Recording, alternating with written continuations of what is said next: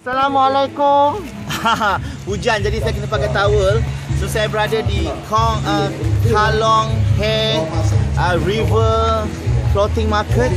Uh, kat sini uh, kita tengok di atas sungai ni mereka uh, berniaga atas sampan. Jadi berjalan dan ini keistimewaan berada di Hat Nyai Thailand yang mana lokasi saya hari ini sungguh berbeza dan saya nak ambil kesempatan untuk berada di sini dan mereka boleh bercakap dalam bahasa Melayu. Itu yang best tu. Dan daripada Bukit Kayu Hitam mengambil masa 1 jam setengah 30 saat eh 30 minit untuk sampai sini. Jadi menggunakan mata one baht.